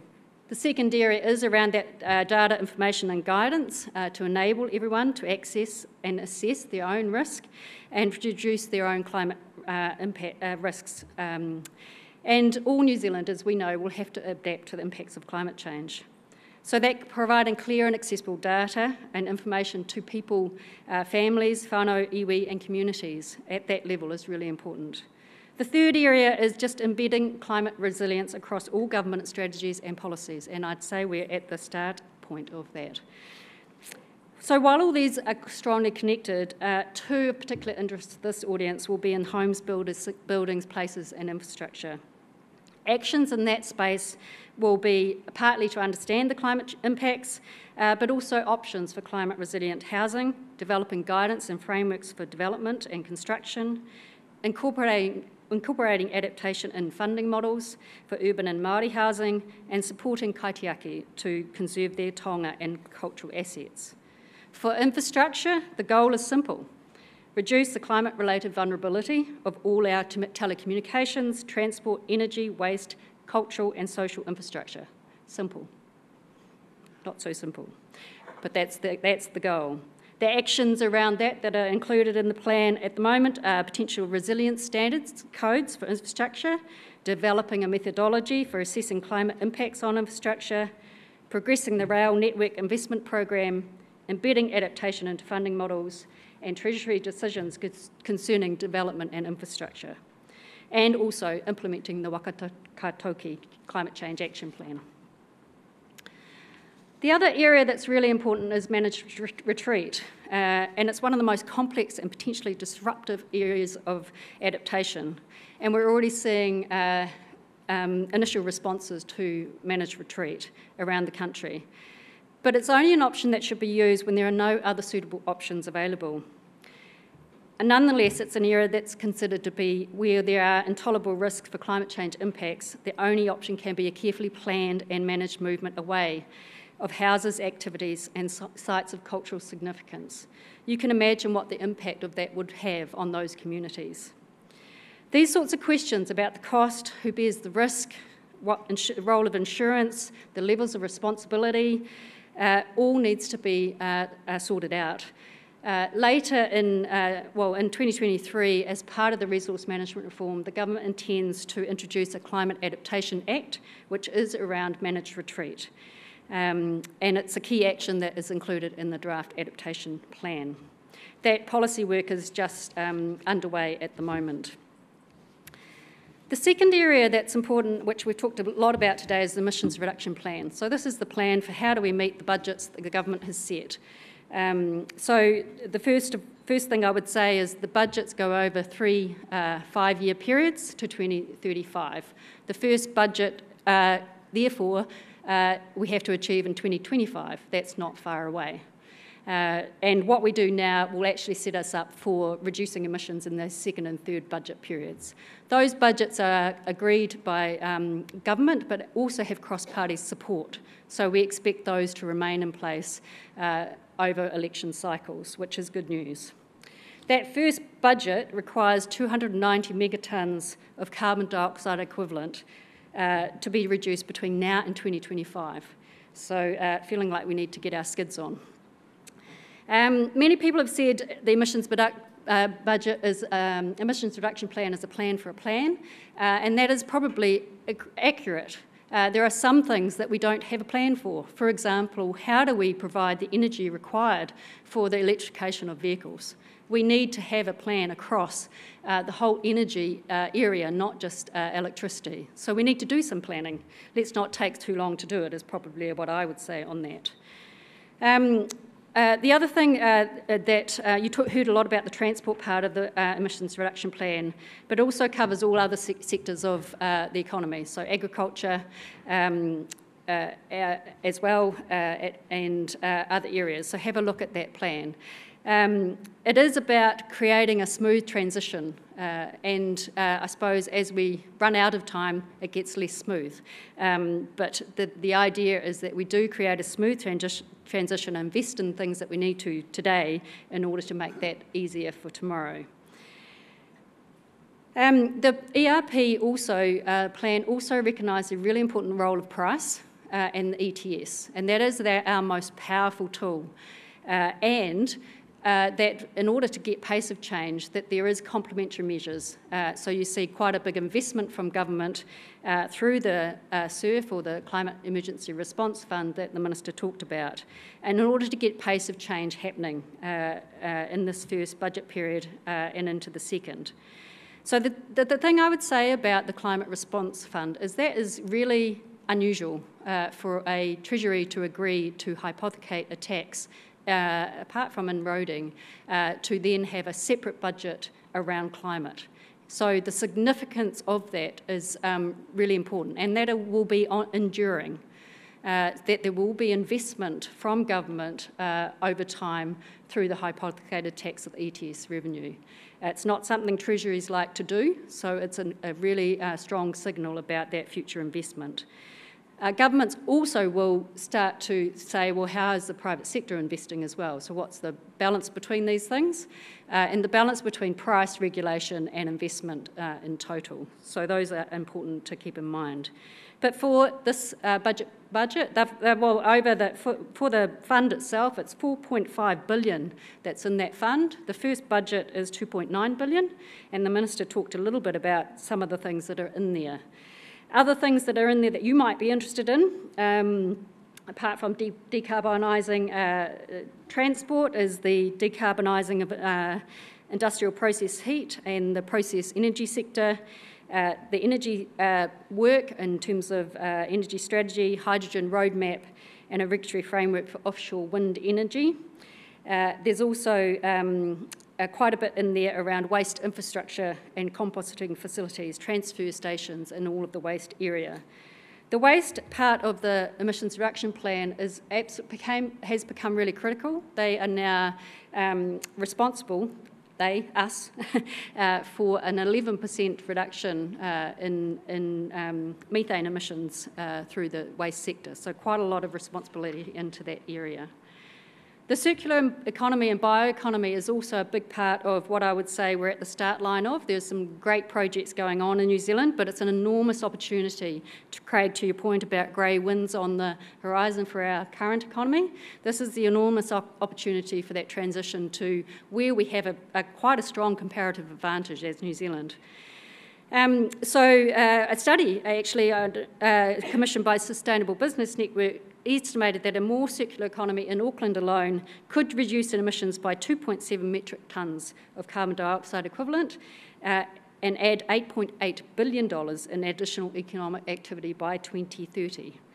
Uh, Scion estimates the bioeconomy could create an extra 30 billion for our economy and help reduce emissions by one, uh, 12.5 million tonnes of CO2 equivalent by 2030. So quite some, quite some opportunity in there. The uh, ERP uh, talks to uh, having a circular economy and bioeconomy strategy. Um, again, a strategy, but also that will take us to some actions that will be first steps uh, towards that. It re- will require us to have skills and infrastructure we need along the right regulatory and alongside the right regulatory and business environments, and to support industry-led programs such as Ngāwhā Innovation and Enterprise Park in Northland. This uh, is an example where ex-dairy land has been converted into business, manufacturing, horticulture, innovation district, built on circular economy principles, including the recycling of bio-waste for energy, fertiliser and compost. Um, so finally, uh, the resource management system. So uh, most of you probably have had some interaction with this system in the past. Yep.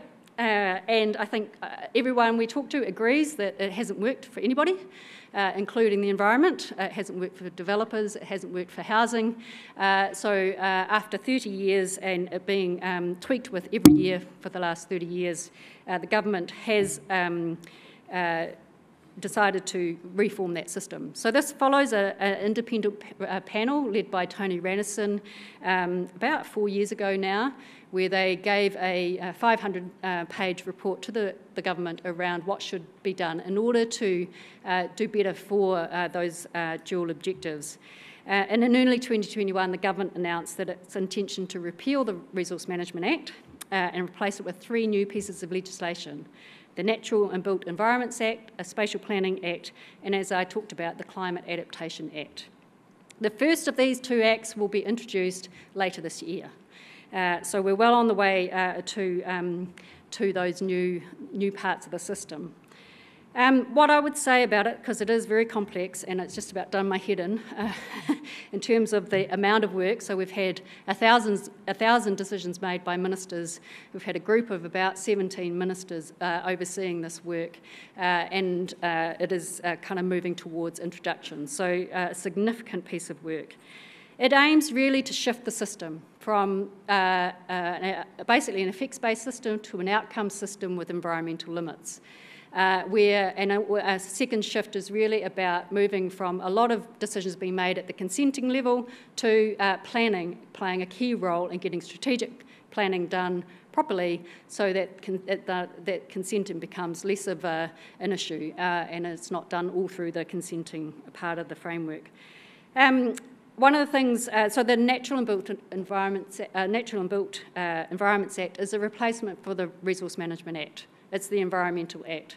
It will have a new purpose, it will have a treaty clause, uh, it will have a different way that uh, planning is done at the local level. So, local government and mana whenua will be required to develop uh, environmental plans um, that covered, covers regions, uh, and these will cover what you would expect in plans, so brings together districts in that way. The, thing, the other thing that's really important, I think you might be interested in, the is the Spatial Planning Act. So this is a, a, function that doesn't exist in the system in a co- co- coherent way or a consistent way across New Zealand. And it brings together central government, local government, mana whenua to do regional spatial strategies. So the point about uh, urban form uh, and how transport uh, connects with how you plan for education, uh, how you uh, uh, work into your communities, some of that will be done through these regional spatial strategies with a 30-year time frame. The other thing you might be interested in is uh, one of the failures of the Resource Management Act was it wasn't implemented uh, in a coherent way from a central government point of view. So there wasn't enough national direction in the beginning. Uh, the uh, Randerson panel recommended that we pull together all the national direction and get some consistency and, and coherency around that and bring it together in a, in a framework. Um, that, that is part of the system. It's uh, called the National Planning Framework, and that will be stood up uh, as, as these things are, passed. The, the key point about that is all existing natural, national direction will transfer across. However, there is, will be a new piece of uh, national direction around infrastructure. And Te Waihanga is actually helping us develop that piece of uh, uh, national direction. What we expect that to include is a nationally consistent planning and technical standards for infrastructure that should be used in all plans and consenting decisions. Um, it might list actions, for example, uh, in uh, standards for erosion uh, and sediment control, just as an example. Councils can then state which standards they, they will meet uh, in their areas. Um, so I think that's an important piece of work uh, and goes to the objective of um, making a more efficient system uh, and more effective for, for developers as well. So in conclusion, um, great to see that uh, you're, you're, all on the start line uh, with us uh, around action for the next decade. the emissions reduction plan is for all of us. Uh, and we need to work together with you uh, and with our treaty partners, iwi Māori, and the rest of society to make it happen. Uh, what I do know is that it's, uh, we won't know what the, all the answers are, so there is an adaptive and agile part of this. Uh, and from a central government point of view, uh, we are actually pulled together a new accountability mechanism at the, uh, the CE's level. So uh, there's a Prime Ministerial-led climate change ministers group, and then a board, uh, which is, has the equivalency of a normal board under the Public Service Act of a group of uh, CEs who are accountable for the delivery of the plan uh, to the Prime Minister. So quite a shift in accountability at our end too. So great to see you uh, all here and uh, the focus of today. Um, really great to uh, hear your views and your thoughts on how we can keep moving forward. Thank you. Tēnā koutou katoa.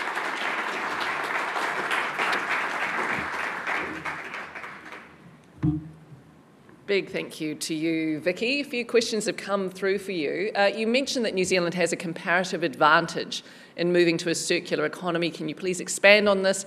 What are the comparative advantages that we have? Um, well, uh, on the um, well on the uh, circular economy side, uh, we have a comparative advantage, uh, which is that we're at the beginning of our waste journey. So we actually can uh, decide where to invest, uh, what to invest in. We can't send waste overseas anymore, so we can actually develop up what that is here. Uh, on the bioeconomy side, well, actually, it, uh, you know, we've got a whole lot of natural resource uh, waste, for example, in wood. Uh, what, why, how could we use that differently, and what do we invest in there to um, to actually take advantage of that? Okay.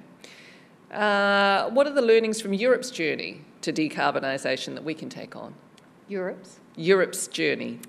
Yeah, um, so in some respects, I think um, Europe, Europe has taken quite a strong regulatory approach. So lots of uh, a lot more rules than we have taken, um, and uh, you know one of the interesting things is just the pace of change that's that's created in some areas. Um, so we can, you know, when we talk about what's the right tool here, is it price, is it regulation, or is it investment? I think there are some lessons there from Europe uh, that we might want to think about. Uh, and also there's some uh, probably lessons we, we don't want to take uh, in terms of New Zealand society. What is the total cost for carbon zero and how is this going to be financed over the decades?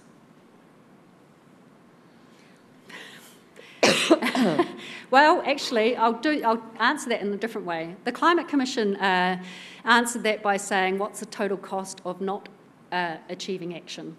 Uh, and they put that down uh, to um, uh, uh, actually, it's a bigger cost to the economy to not not do this, and I can't remember the figure off my top of my head.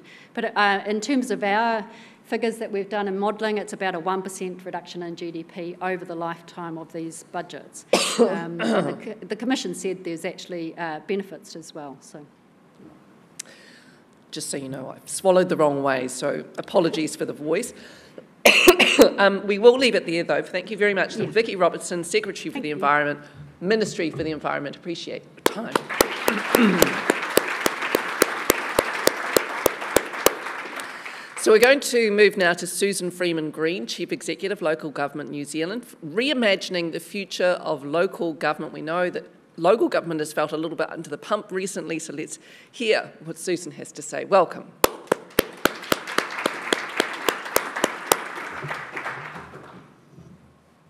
Tēnā koutou katoa, ko Susan Freeman Greene, toko ingoa. Ana mihi nui kia koutou. It's fantastic to be here. Thank you, Ainsley. Um, thanks for the insights, um, Nicole and Vicky. It's always interesting hearing you speak. And hi, Craig, and everyone else. Uh, I really like the boldly optimistic theme of the session. I'm just looking for my clicker. I think there's a clicker here. Ah, is my, are my slides up? Yes. Right. Okay. Um, thriving nations enabled by world class infrastructure. It's aspirational. It's also very hard. Reimagining the future for local government is a critical part of that because it doesn't just rely on what we build or the services we deliver, the what, but equally importantly, the how. How we will work together and make the shifts needed to get this sustainable world infrastructure we're all talking about. That means navigating a complex web of relationships, sectors, BAU, investment requirements, cost pressures, and vastly competing priorities, not to mention politics. I have a couple of lenses when I think about this mahi. I came into this role from Engineering New Zealand with our vision of engineering better lives for New Zealanders. One of the things we focused on is that the end game isn't the infrastructure or the engineering, it's how it improves people's lives. In this job, what strikes me is that mayors and councillors frequently stand for election because they want to make a real difference to their communities, to their well-being, but they arrive to find that they're actually running great big infrastructure businesses and they're not always expecting that. As the membership body for councils, local governments New, Zealand's role is to advocate on behalf of the national interests of the sector and its communities, which means putting local democracy at the front and centre of everything we do. As we aspire to have the most active and inclusive local democracy in, in the world, and when we think about inclusiveness, I'm really um, mindful of what Nicole said about social license and how we make sure we have everyone's voice in, in the decisions we make. But that's where the future for local government must be, by and for the communities we serve. And when we think about sustainable infrastructure in the context of local government, apart from sustainable funding, which is a major issue, there are two other challenges.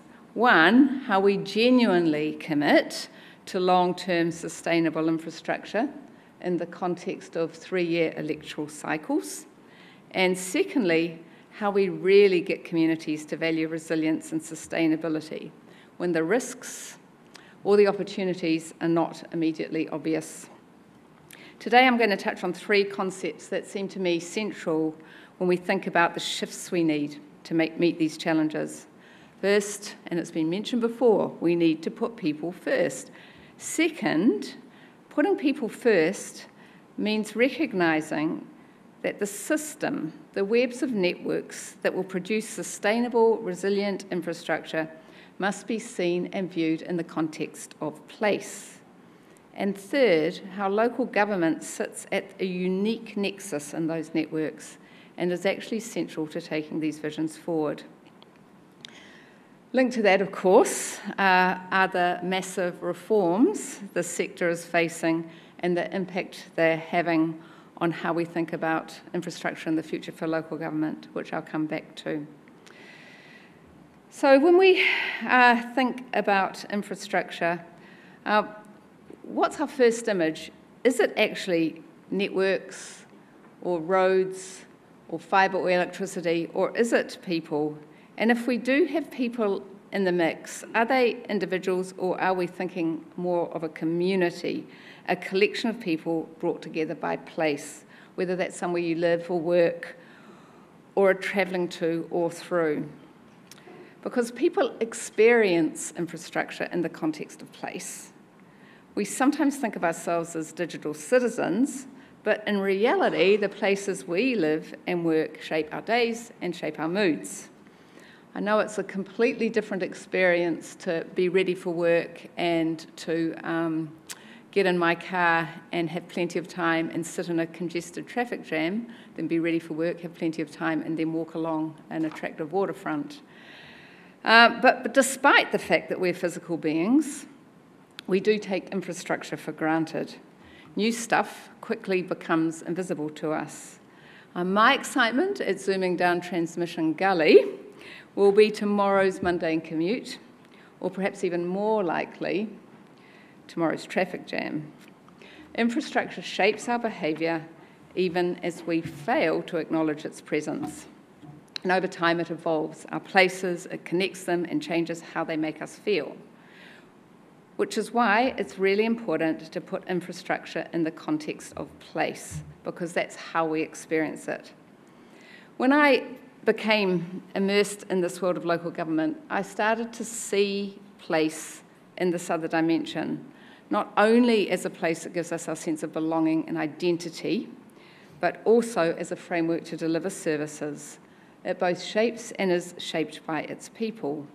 So, infrastructure actually benefits from being viewed through a place lens.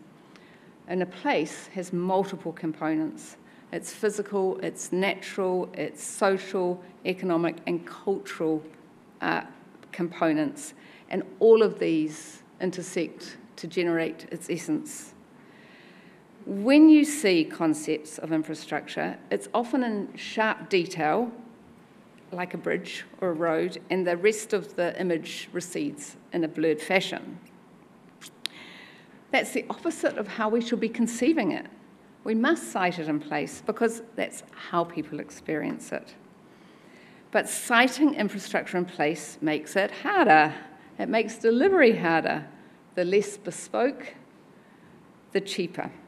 The more universal, the more straightforward. But anyone involved in delivery knows that off the shelf really works in the context of place, and that paying attention to that early on and the people who bring it to life needs to be done up front. And that goes to the how. Because putting people in people first and thinking about infrastructure in place means involving the whole infrastructure ecosystem. And if we could focus, refocus away from silos and the detached ways of working in components towards connected communities, connected communities, imagine what would be possible.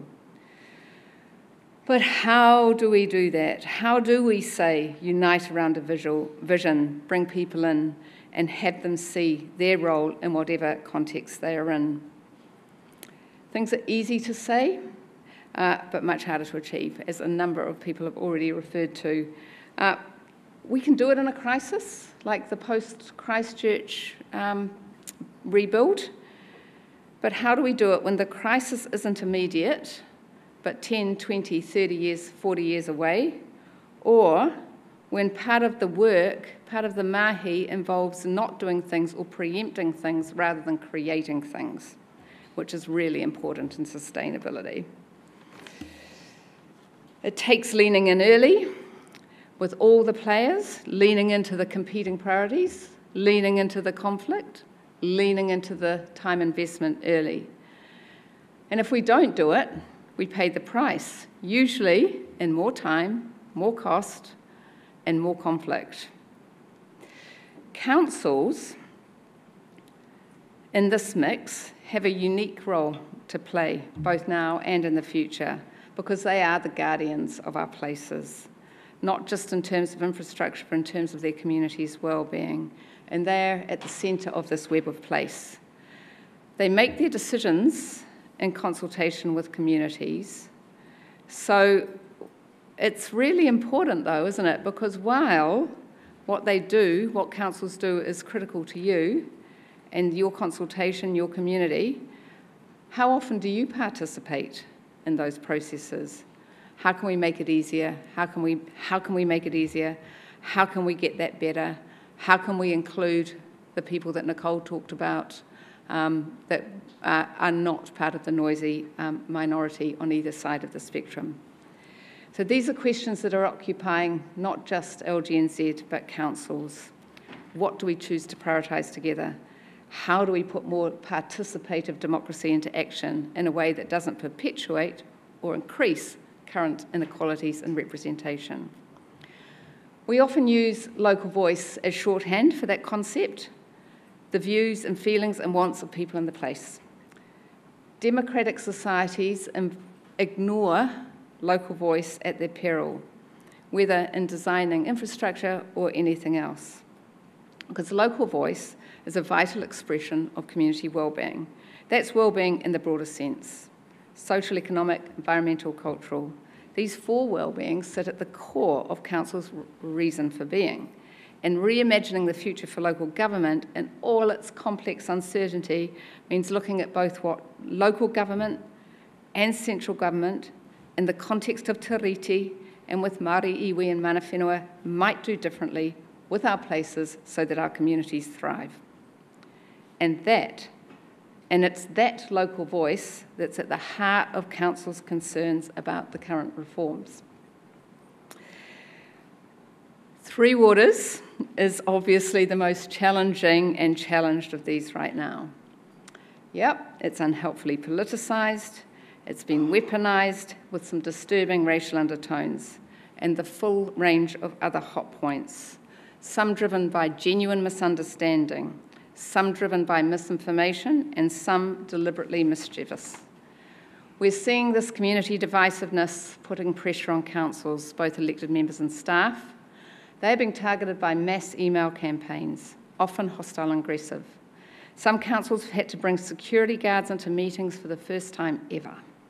It's hard, and we're only just starting the select committee feedback process. Just this morning, I've heard from one of our team at LGNZ, a member organisation who's been um, absolutely harangued and um, put under pressure for a, a, a broader anti LGNZ campaign. But when you strip the rhetoric away, and when I speak to councils on the ground, what I hear most often is their concern about losing the community threads that come from their interactions with water infrastructure. Just about all councils know change is needed to enable investment, to build resilience, against the daunting challenges we face environmentally. But most are also struggling to see how the government's model will allow that critical local voice feedback loop and the integrated connections across the rest of the infrastructure system.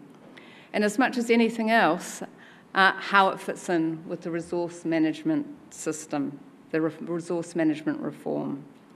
Because as Vicky's just described, we're also looking at the most significant resource management reforms in a generation.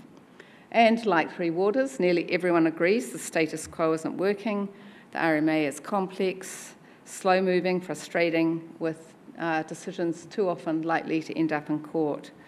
But the change that's coming also feels very complex, with some key differences from the current regime, including greater regionalisation of planning functions. And, and for our councils, they are concerned about how they will have um, direct communication to their planning, their work, as they go about what they're doing. So getting local voice input will again be critical. And seeing this alongside other infrastructure networks works, thinking about the future we want um, and making sure everything's joined up is a really key focus for us. Both Three Waters and resource management will potentially change councils' roles. So it makes sense that the government is also examining the future for local government. In an ideal world, this work would have come first, but we don't operate in an ideal world. There is a really strong connection, though, between the Three Waters reform, resource management reforms, and the Future for Local Government review. And we think there is significant risk and unintended consequences of these all proceeding without full information about how they work together. The Future for Local Government review must also look at the funding dilemmas that councils face, with growing unfunded mandates and little ability to adjust revenue to meet them. Especially when adjusting revenue, one of the few levers that councils have means raising rates, which is really popular at the polls. But we're going to have to face into these hard questions, which means we're going to have to think about doing some hard change, otherwise letting it happen by default. Good sustainable infra- infrastructure, as we know, and which is the topic here, is intergenerational, as are its costs. And we do have to think about what future generations will be paying for the investment decisions we make today. When the alpine fault strikes, which decision makers will have regrets? Because it's not just climate change that's tomorrow's infrastructure and resilience challenge.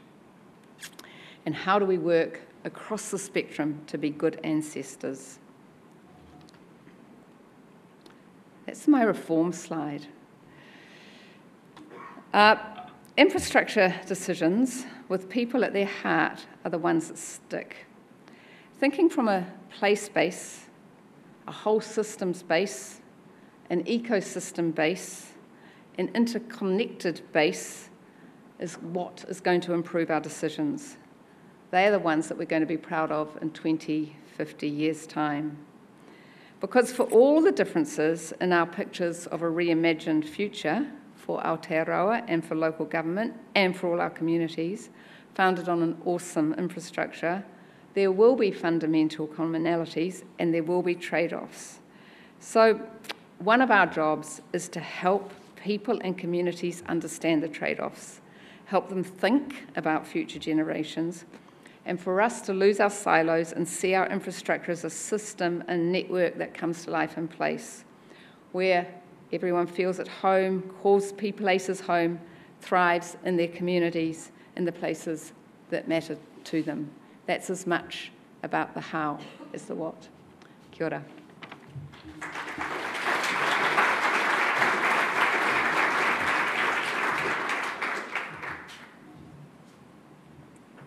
All right, thank you very much, Susan. Um, it was really interesting to hear talking about Three Waters and the fact that it's been weaponised uh, and that the reactions have, have, sort of ranged from misunderstanding to the mischievous. People have had to have security. Tell us more about, about that. Uh, well, we, yeah, I mean, uh, South Island Council is, is, is having to have um, security in its meetings because they're concerned about some threats that they are receiving from um, the community. There are petitions uh, around the elections, which are in October, local government elections are October. If you don't know that, please put that in. Please vote. please think about who you want. Um, there's just a wee pitch for Vote 2022. Um, it's, it's, you know, local government mayors, councillors have always been subject to some uh, harassment and online stuff, but it's got worse. It's ratcheted up a whole lot more, and it's physical um, in, a, in a pretty nasty way. Um, yeah, I've heard some pretty grim stories about that, and I'm not seeing much lessening of it. I think we all have a responsibility to do something about that, call it out. You also um, talked about, at the beginning of your talk, about the, the notion that when you became more immersed in local government, uh, you realised there's not one view, that actually this is uh, a place that delivers services and identity. Yeah. Can you expand on that? Yeah, well, you know, how we feel about where we live, the how it, how it looks, it feels, how we move between the places we work and play, how we uh, experience in the art, the public spaces, the parks, uh, are all so much at the heart of, of place and what makes our communities thrive and what makes people feel like they belong. How we work with our partners, how we, how we, um, how we connect um, with our partners in central government, with iwi, um, how we join, how we celebrate, how we um, think about being good citizens, they're all so relatable to where we live. And one thing I would also say, I mean, I've been in this role for 18 months now, is that, um, you know, quite a lot of people say to me, so why you, why? why have you done it? You know, like, look at the headache you have. and, um, you know, uh, from day one, yes, there's an awful lot of challenge. There's an awful lot of hard stuff and probably you know, I would, I would not be, I would be, I would be lying if I realised exactly what was coming up, even though we could see the reforms. However, there are some incredible, talented, committed um, councillors and mayors who and staff in these councils who do unbelievable work for your communities that is just so invisible and I think that story needs to be so much more elevated and so much ha- the heart of what the future for local government should be. Big round of applause, please, for Susan Freeman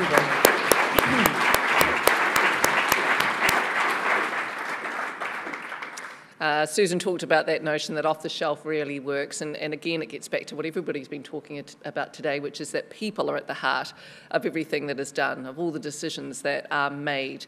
Uh, councils have a unique role to play. Democracy ignores local voice, the local voice at its peril. And of course, when we talked about Three Waters, uh, Susan said when you strip the rhetoric away, council staff don't want to lose community threads through dealing with water infrastructure. So, how does the government framework allow for that local voice. And one big question towards the end, she asked, How do we act as good ancestors? How do we act now as good ancestors? Thank you very much again, Susan. I'd like to welcome back now Craig Davidson for uh, a session reflection as we begin to wind up towards our first break of the day. Round of applause, please, ladies and gentlemen.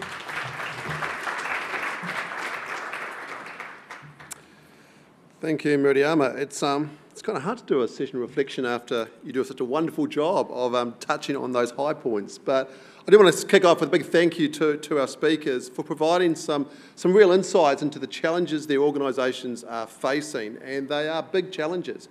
But also, you know, I was really pleased and excited by the proactive steps that are being taken, both within the organisations, but also in, in reaching out to partner firms and the common theme that we are in this together. Now, I'm mindful that I stand between you and some great networking opportunities. I do have pages and pages of, um, of, of, notes taken, um, which I might struggle to, um, to read my own handwriting. But, but very briefly, you know, for, for Nicole, you know, she, she made the comment that, you know, we haven't been good tenants and we do need to, to be better in that space. And I think Waka Kotahi, you know, are genuinely committed to making that change to driving sustainable outcomes. We talked about the Sustainability Action Plan to to reduce emissions, and we heard from Minister Wood as well, talking about 20% reduction in vehicle kilometres travelled, 35% reduction in freight, um, improve public health and reduce the environmental harm. Great aspirational goals, and they're, and they're looking to achieve that through matching the funding, to changing the investment mix, and you know, using networks differently. And I think that goes into that change that we're going to have to have as people. We're going to have to do things differently if we are going to deliver on those goals. Walking and cycling, mass transit, digital, a multi-pronged approach. But I think the, you know, the key thing for me was, again, the behavioural change that is required for all of us and for us as a group to, um, to lean into. Um, for Vicky, um, the importance of investment certainty. You know, that it's a collective challenge that no one organisation can solve. Talked about the work done in the adaptation and resilience space that as a country we've gone through and we've looked at our risks and they are significant, coastal, agricultural, um, you know, weather, the inequality challenge. So, you know, we've got line of sight on what the challenges are for us as a country and then you start the next step on the adaptation plan and talked about how do we reduce infrastructure vulnerability and there's a real cost to that. There's also a massive cost to the managed retreat, and that's a conversation that, that we need to be bold in. There are parts of this country that we do need to consider the future of, particularly when you look at infrastructure and its cost, and that's a conversation. And again, I think we need to be at the forefront in. The emissions reduction plan, the fact that the ETS provides a fund for changing the way and investing in how we do sustainability better. And then lastly, the conversation around the RMA, the fact that the, the legislation, the existing legislation has worked for no one, it's going to be replaced by three new pieces of legislation. Um, the challenge is the devil's in the detail. And for those of us who were around when the RMA came in, you know, there was a lot of you know, inertia and a lot of challenges around it when it, when it came in. Let's hope that the transition to this new legislation is slightly, slightly smoother. Lastly, Susan. Um, oh, look, I don't envy um, Susan her challenge. I thought she had a challenge with Engineering New Zealand. Um, but, you know, the challenges facing local government uh, are massive. But it's such an important part of the fabric of our society. You know, that challenge around long-term thinking versus three-year election cycles and for community buy-in to resilience, for infrastructure that, by and large, people think about it when a ribbon's opened, forget about it, particularly the infrastructure that's under the ground. The reforms that are, that are going on, how we can, how we can help um, tell that story. You know, I think the, the comment made about let's lean in together, it's that people theme that came, came through. And lastly, I thought the comment around, you know, the need to think holistically about local government. We seem to be picking off, you know, little items one at a time without that macro plan as to where we want to go as a country. So some fantastic um, speakers, some, some, you know, some real challenges, and I'm sure in the afternoon session as we move forward, we will talk about how we can, how we can address some of those challenges. Look, before, before